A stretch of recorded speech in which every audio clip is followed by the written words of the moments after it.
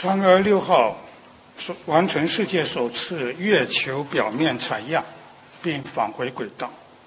是中国外空探索的历史性一步，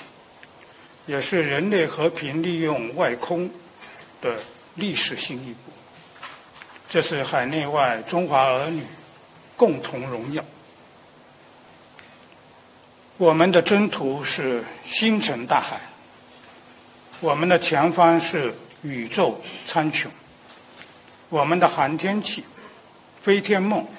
还会飞得更高更远，给两岸中国人带来更多的荣耀和感动。